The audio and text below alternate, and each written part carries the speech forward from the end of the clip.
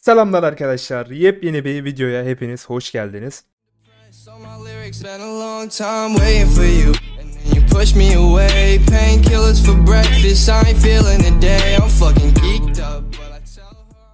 Sizler de kasino oynuyorsanız Birlik No Tak Sezon 4 tam size göre ban yerse 1-1 artıyor zaten biliyorsunuz. Instagram hesapları da team.birlikgt orayı da takip ederek hem güncel linklerden hem de hoster fiyatlarından veya hosterlarla alakalı her şeyden haberdar olabilirsiniz. Şimdi videomuza devam edelim. Sizler de DL almak isterseniz veya DL satmak isterseniz hesap.com.tr tam size göre. Sol üstte kategoriler kısmından Growtopia'yı seçiyorum. Dilersem buradan gem alıyorum. Dilersem de ilan pazarından DL alabiliyorum. İstersem pazarında kendim de DL satabiliyorum. Fakat bunların hepsini yapmak için açıklamalar kısmında ve yorumlara sabitli benim referans linkimden buraya kaydolmanız lazım. Diğer türlü burada DL satamazsınız arkadaşlar. O yüzden hemen linkten kaydolun ve sizler de eğer DL'niz çoksa veya bu işin ticaretini yapıyorsanız burada düşük komisyon oranlarıyla alım satma başlayabilirsiniz. Şimdi videomuza devam edelim. Ban sonra bildiğiniz gibi konseptimi eleştiri olarak değiştirmiştim ve eleştirilerin en büyüklerinden birini yapacağım bugün. 11 yıldır severek oynadığım Growtopia'yı ilk defa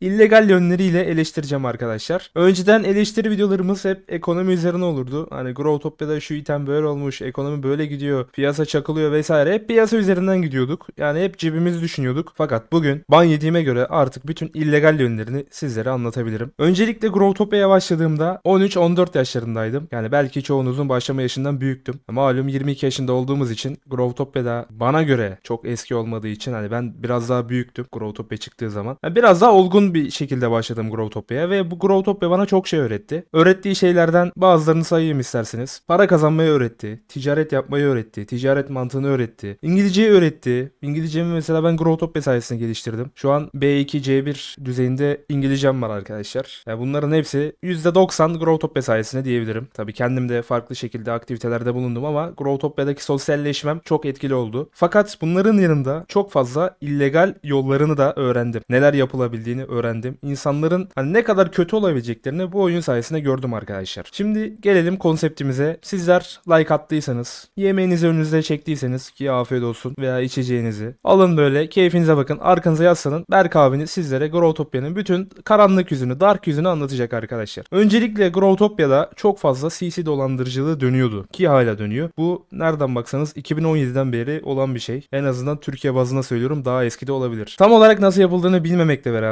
CC'nin kredi kartı dolandırıcılığı olduğunu biliyorum ve Growtopia'da çok yaygın olduğunu biliyorum. Hatta Growtopia bunu fark ettikten sonra şöyle bir önlem aldı arkadaşlar. Bildiğiniz gibi normalde hani kendileri burada zaten Gem Shop'ta pek ve Gem satıyorlar. Görüyorsunuz. Bir sürü şey satıyorlar. Burada dolar karşılığı. Daha sonra sitelere sponsor olmaya başladılar. Yani sitelerde de satılmaya başladı. Fakat şunu kaçırdılar. CC dolandırıcıları bu siteler üzerinde çalıntı PayPal'larla yabancılarda da bu arada CC çok yaygın. Hani sadece Türkiye'de değil. Ha, Türkiye'de de çok yaygın. Çok daha basit ama yabancılarda da yani yurt dışında da farklı kredi kartları, Visa kartlar yani herhangi bir kart çalınabiliyor arkadaşlar. Bunların yani kredi kartı dolandırıcılığı da yapılabiliyor. Özellikle PayPal'da yaygın olduğunu biliyorum. Nasıl yapıldığını vesaire bilmiyorum ama yaygın olduğunu biliyorum. Görüyorum yani. Bu insanları tanıdım. Bu insanlarla hani muhabbet ettim, sohbet ettim. Yani nasıl insanlar olduklarını biliyorum. Fakat dediğim gibi Growtopia'da kendimi bu yollara hiçbir zaman düşürmedim. Aile terbiyesi mi dersiniz artık? Öz saygıdan ötürü mü? Bunu hani siz kendiniz şey yapın. Ben hani kendimi kötü yollara, haram rızka, haram şeylere yöneltmedim arkadaşlar. Hatta daha geçen günlere kadar kumara bile el sürmemiş adamdım. Çok sinir olduğum için bir el atmak istedim. Onu da zaten bıraktım. Biliyorsunuz bir hafta falan devam etti bizim kumarhane. Neyse şu an konumuz o değil. Şimdi CC dolandırıcıları yüzünden Growtopia çoğu sitenin sponsorluğunu iptal etti. Şu an sadece bir tane siteye sponsorlar. Yani bir tane siteye sponsorlar ne demek? Buradaki pekleri o adamları daha ucuza sağlıyorlar. Oradaki sitelerde hani kar payı koyup satıyor. Şu andan itibaren Growtopia herhangi bir farklı bir siteden aldığınız gem pek olsun, başka bir pek olsun fark edildiği zaman sonuçta Grow ID veriyorsunuz, ödemeyi yapıyorsunuz, hesabınıza o pek geliyor arkadaşlar. Gem pek olsun veya başka bir şey. Bu fark edildiği zaman da perma banyosunuz. Ve Growtopia'nın da bunun için yaptığı açıklama şu şekilde herhangi bir şekilde kendi sponsorlukları dışında olan bir siteden alışveriş yapıldığı tespit edilirse hesabını sınırsız süreli banlanıyor ve bunun hakkında hiçbir şey yapmıyorlar. Yani banlı kalacak. Banınız açılmayacak demek. Sponsor oldukları da zaten artık sadece bir tane site var. Bu aklınızda bulunsun. Şimdi CC dolandırıcılığını yani kredi kartı dolandırıcılığını anladığınıza göre gelelim ikinci mevzuya. Panelcilik. Malum ülkemizde böyle sıkıntılar yoğun bir şekilde, çok hızlı bir şekilde yaşanabiliyor şu an. Özellikle günümüzde çok yaygın arkadaşlar. Yani sokakta çevirdiğiniz 4-5 kişiden en az biri paneli biliyordur zaten. Onunla ilgili bir anımı da anlatacağım bu arada size. O da beklesin. İlerleyen dakikalarda onu da anlatacağım. Komik bir anım. Panelciliğin yanında sahte ihbarlar, sahte telifler. Bak o telif mevzusuna bile gideceğim bu videoda. Hani çoğunuzun YouTube kanalı telif yiyor ya. Sebebini bu videoda değineceğim size. Ben de yedim bu arada. Çok fazla telif yedim. Kanalım bir kere kapandı açıldı. Bir kere kapanma şeyine geldi. Eşiğine geldi. Yani sinir stresten abi bu oyun adamı bitiriyor. Gerçekten söylüyorum. İhbar dedik, telif dedik, panelcilik dedik, kredi kartı dolandırıcılığı dedik. Yani şu an için bunlar bize yeterli fazlasıyla. Panel dediğim gibi ülkemizde çok yaygın. Herhangi bir şekilde 10 yaşındaki çocukta bile yani bu veriler ulaşabiliyor. Şu an ülkemizdeki bütün vatandaşların kimlik bilgileri piyasaya sürülmüş durumda. Panel üzerinden herkes herkesin bilgisine erişebiliyor arkadaşlar. Ve bunu hani dediğim gibi 5 kişiden birini çevirirsen bilir dedim ama kalan 4 kişi bunu bilmediği için panel üzerinden tehdit edilebiliyorlar. Growtopia'da bu çok yaygın. Sanal mafyacılık, sanal dolandırıcılık çok yaygın olan şeyler. İhbar yine çok yaygın. Bunu mesela şöyle söyleyeyim. 5 kişiden biri panel biliyorsa panel bilenlerin arasında da 10 tanesinden biri ihbar atmayı biliyor arkadaşlar. Sahte ihbar. Ülkemizde yine büyük bir açık. Yani sen başka birine panelini öğrenip adamın evine polis yollayabiliyorsun. Ama şu konuya değineceğim. Bana da yollandı. Yani bana 4-5 sefer yollandı hatta. Artık adresim meselenin ne oldu bilmiyorum artık gelmiyor. Adresimi sildiler yani son gelen polis memurları. Polis memurları evinize ilk geldiği zaman sordukları şey arkadaşlar. Zaten genelde bilerek gece atıyorlar. Hani gece 3'te 4'te atıyorlar ki yani güya şey yapıyorlar yani size. Ee, ne, ne denir bilmiyorum yani size güç gösterisi yapıyorlar güya. Geldikleri zaman polis memurları zaten bunu bilerek geliyorlar. Öncelikle onu söyleyeyim yani bunun sahte ihbar olduğunu bilerek evinize geliyorlar. Ve size sordukları ilk şey genelde şu oluyor artık. Hangi oyunu oynuyordun? Bu adamlarla nereden iletişime geçtin?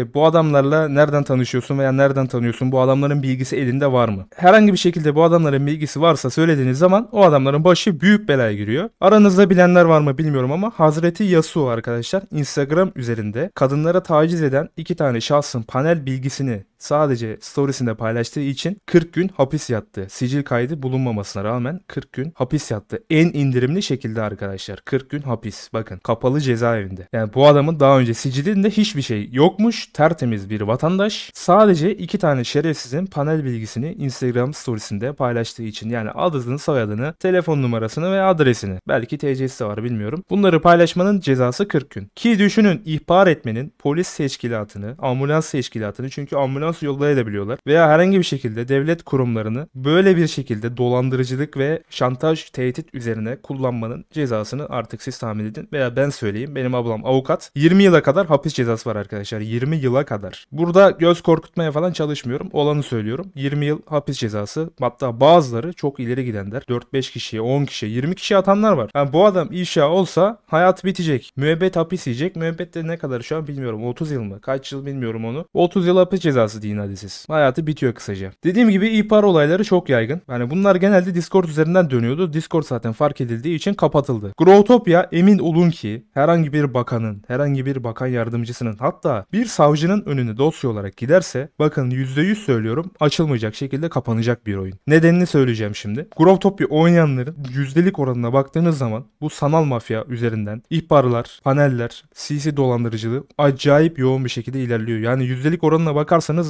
gökdelen gibi bir şey arkadaşlar. Çok fazla var emin olun. Yani herhangi bir şekilde Türk dünyasına git veya başka bir Türklerin dolaştığı bir dünyaya git. Hani 3 kişiden biri zaten bunu biliyor abi. 3 kişiden biri bunu biliyor veya uyguluyor. Çok aşırı yaygın olan bir şey. O yüzden yani kapanmama ihtimali olmayan bir oyun. Kapanacak abi. Growtopia her türlü kapanacak. Ama ne zaman kapanır bunu bilemem. Şimdi dediğim gibi evime ihbar geldi. Bana dedikleri ilk şey hangi oyunu oynuyordun? Verdim abi dedim yani Growtopia oynuyordum. Bu adamların ismi sanı vesaire dedi. Yani onları bir şekilde tabi bulduk ama veremedik.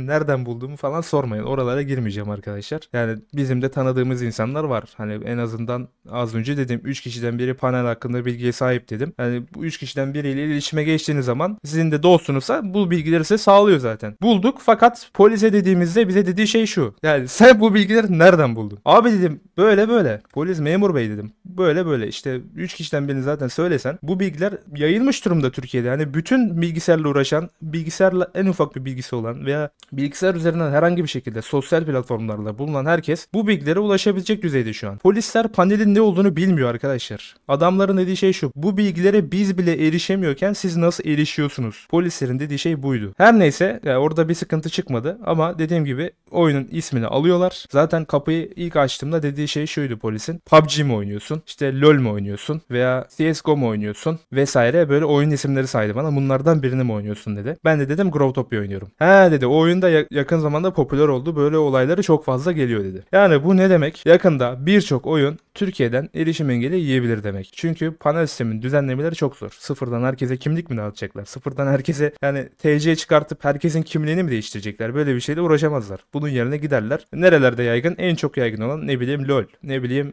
CSGO ne bileyim PUBG bu oyunların giderler erişim engeli atarlar ama yani vatandaşı kimliklerini değiştiremezler arkadaşlar. Olacak şeyi söylüyorum. Growtopia'da şu an revaçta olduğu için ya evine yemek söylenen mi dersiniz? Ambulans söylenen mi dersiniz? Polis söylenen mi ders- dersiniz? Yani bu aşırı yaygın olduğu için Growtopia yakın zamanda kapanabilir. Aynısını zaten Roblox'ta gördük. Sırf zorbalıktan ötürü küçük yaşta çocuklar zorbalanıyor diye Roblox'u kapattılar. Growtopia'yı niye kapatamasınlar? Böyle büyük bir dava söz konusu olursa. Yani sözün özü şu ki herhangi bir şekilde bir savcının önüne bu dosya olarak ulaştığı zaman bunların sayısı arttıkça bu dediğim olayların yaşanma zaman şeyi arttıkça Growtopia kapanacaktır yakın zamanda. Bu sanal mafyacılığı yapan insanlar herhangi bir şekilde Ubisoft üzerinden ifşa olamayacağı için çünkü oyuna herhangi bir bilgimizi vermiyoruz ve bu adamlar kolay kolay şey olmaz abi yakalanmaz. En azından Ubisoft üzerinden. O yüzden devlet Ubisoft'ta hiç görüşme falan düşünmeden direkt oyunu kapatacaktır. Son olarak Ubisoft neden kumarhaneleri banlıyor? Bu konuya değineceğim arkadaşlar. Ubisoft sizi düşündüğü için mi banlıyor yoksa başka bir sebebi mi var? Ona değinmek istiyorum. Sonuçta bu da illegal bir durum. Şimdi Ubisoft kasinoları çok hızlı bir şekilde banlıyor. Bunun sebeplerini size söyleyeyim. Öncelikle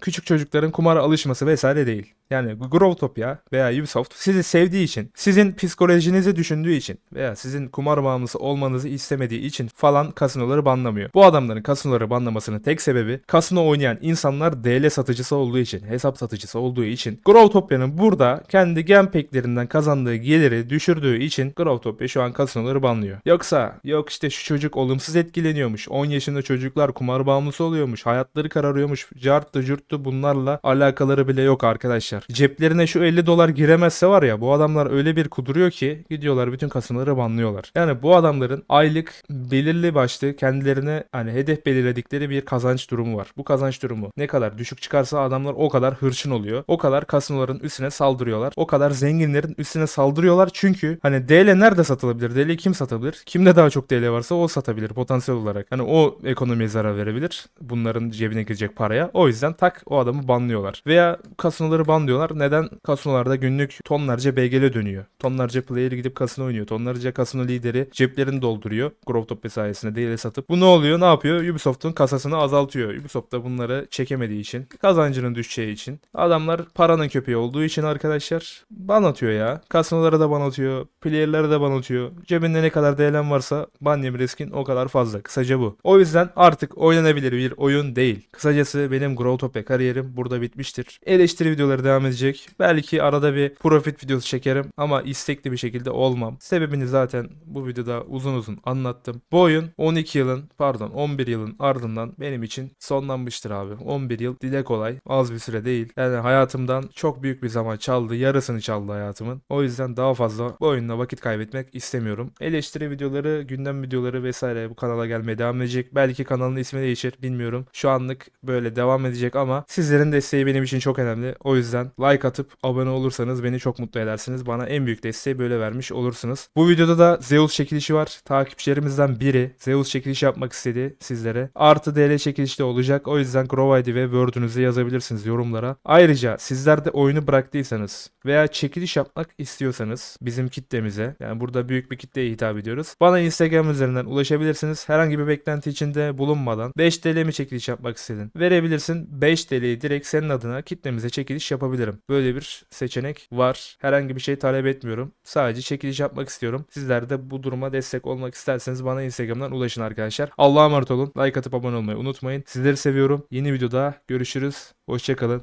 Berk GT kaçar.